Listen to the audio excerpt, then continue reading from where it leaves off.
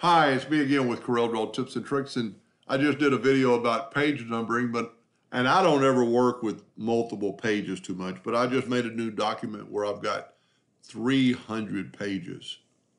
And you can go to the end and you can go all the way to the start. But let's say you have a drawing on page 250, and instead of clicking through here and finding 250, you can go to layout and go to page number and just type in 250 and hit enter and it's going to bring up that document at 250. Now let's go back to the start. Let's make a hotkey for that so you don't have to go up here. So go to tools, options, customization, and right here, instead of trying to find it, just go ahead and just go up to layout, go to page and it found it. Go right here, I mean, double click on it and then give it a sh shortcut.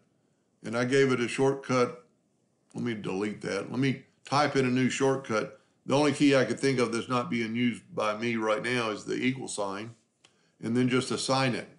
And then say OK. Now, if I want to go to page 200, I just have to hit the equal sign and then type in 250. And there's my drawing.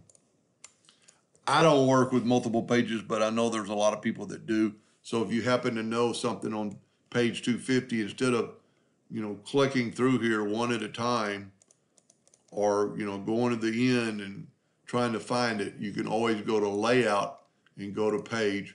And then you can see my hotkey is now embedded in there.